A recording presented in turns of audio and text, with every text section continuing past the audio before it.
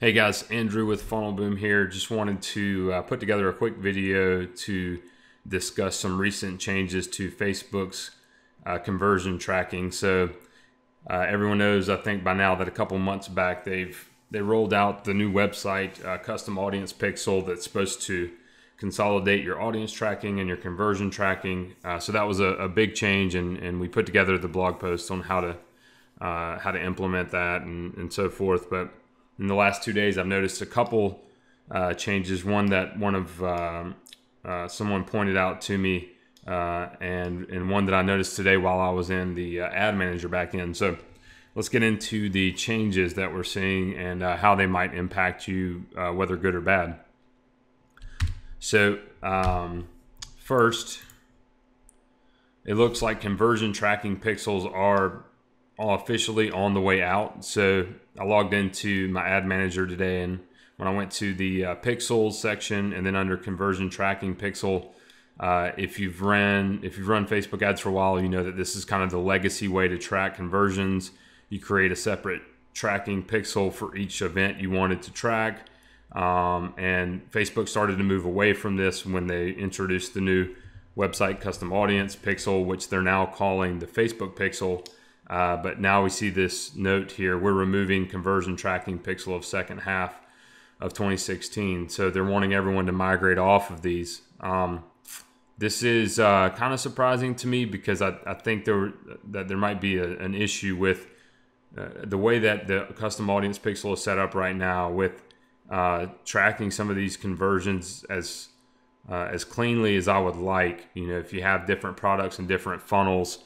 Um, right now. You know, I'll, I'll, put together a separate video and blog post on this, but I'm a little surprised by this because I thought that you might be able to use the conversion tracking pixels in tandem with the custom audience pixel, depending on uh, how specific your campaign objective is. But looks like this is the move they're going to make. So we just need to start, I guess, making uh, preparations to move away from these uh, conversion tracking pixels. Um, you know, you can still, again, the, the goal would be to move to the event tracking uh, that we talk about in the Facebook Pixel implementation guide. Um, and, and you're going to probably need to use a tool like GTM to implement that, you know, most effectively for your site.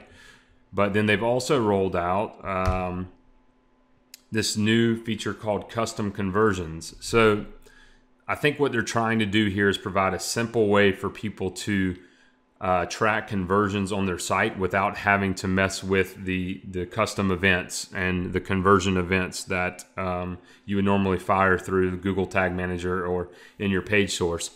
Now, the problem that I can see with these is uh, there's a couple of problems, but you can see my screenshot here. It's got a custom conversion. Now, your rule is limited to URL based rules, so you're only going to be able to use URL uh, based logic to fire these pixels, which is obviously a problem for sites that have uh, you know a lot of different products with different confirmation pages. Also, you know any site that has a single page architecture, you're going to be um, you know this is not going to be able it's not going to be very helpful for you at all because obviously your URLs don't usually uh, change to exactly reflect like a specific event and so forth. So um, let's just hop in and take a look at this and I'll explain uh, kind of the ups and downs of it. Um, so coming over to uh, Business Manager, you'll find this under Tools and Custom Conversions here. Uh, and if I click Create Custom Conversion, you'll see my URL can only be equals or contains. I can't like add compounding rules, which is another limitation. Uh, and right now they're saying you only get 20 of these per account and you can't delete them. So if you're going to use them, use them wisely. Uh, but you can specify basically all of your events here, the standard events that you would also use through uh, your, your website custom audience pixel. So they're the same purchase, lead, uh, payment info, and so forth. But let's just look at like purchase here. So let's just say if I was going to do um, a, a, purchase for this thanks dash test URL.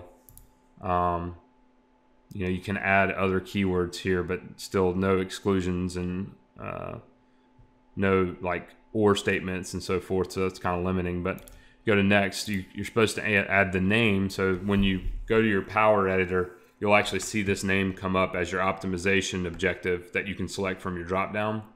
Um, purchase test.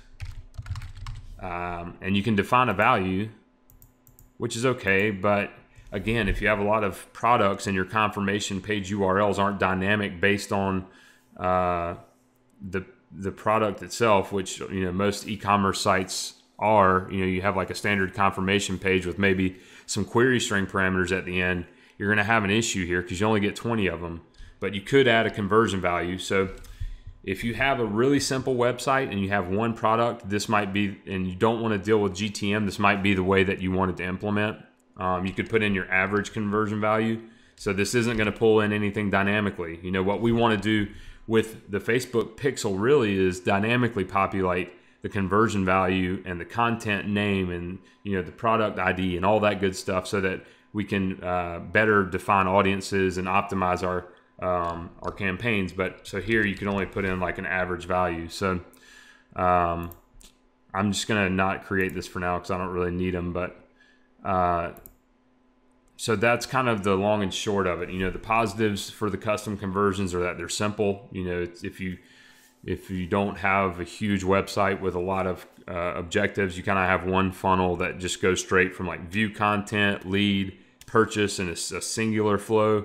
This might be helpful for you if you have URLs that are actionable and unique. This will be helpful. Um, uh, so you know, I'm not sure if it'll be good for you or not. This is definitely their effort to give a give people a simpler way out or a more easy way out. Um, so those are the two big changes that that we see uh, in the past couple days. Um, I'm actually have, have talked to their support about an issue that I'm a little bit concerned with about op- conversion optimization using what they're calling the, the Facebook pixel, the new kind of like God pixel that is supposed to be used for retargeting and uh, conversion. So I'm going to be reaching out to their developer support uh, on that because uh, they're my first the first guy I chatted with was really helpful, but they don't really do that level of support. So I'm gonna have to like get in touch with them and see how it goes. But uh, anyways, just a quick update for you guys. Uh, hope everyone's campaigns are, are doing well, and uh, we'll have some uh, new videos with updates again here soon.